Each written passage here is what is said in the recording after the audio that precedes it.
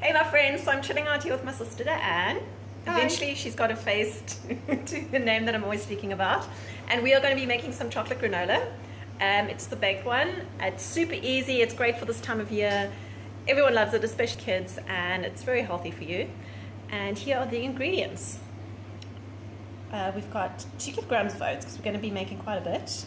You can use the whole oats, the boiled ones, or the pre-cooked. Um, there's sunflower seeds, pumpkin seeds, the raisins. Uh, we've got some raw cacao here uh, from the Superfoods brand, and got some linseed, cashew nuts. You can use almonds if you want. Any other. Um, you've got an orange blossom honey from Aitza, beautiful honey that's raw. There's sesame seed, and I'm also going to be using some peanut butter uh, with. You can use olive oil, coconut oil, your choice. Okay. So as I go along the process, I'll show you how it's done. Give it a try. Okay, so we've mixed the honey, the peanut butter, and the oil, which was a cup of each. And now we're just going to pour it into the dry ingredients, which is coconut. I think I forgot to mention coconut previously. And that's half a kilo of coconut, cup of uh, cacao powder, and then a kilo, a whole kilogram of oats. And you're just going to throw in that peanut butter mix, mix it up. Basically, you can make a chocolate crunchy from this if you wanted to. And if you did, I would have put in chickpea flour to help bind it. But we are wanting granola. Okay, it's done. We're going to test it. Very good. Very chocolatey. We don't put the nuts and seeds and all that kind of stuff in yet because they get a bit hard and a bit overcooked when that roasts in the oven.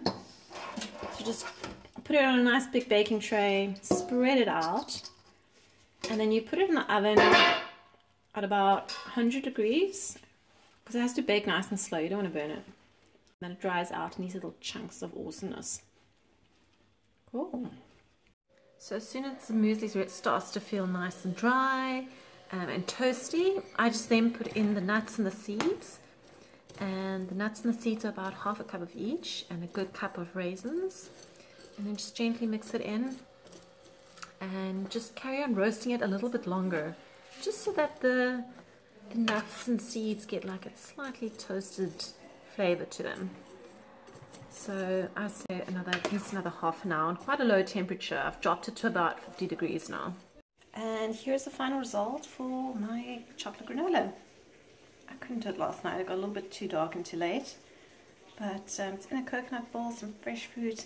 I've got the Synergy Organics hemp hearts and um, chia seeds mixed with some coconut milk and then a little bit of um, their green uh, green chia protein mix. And yeah, I've just made a little little Buddha bowl for breakfast.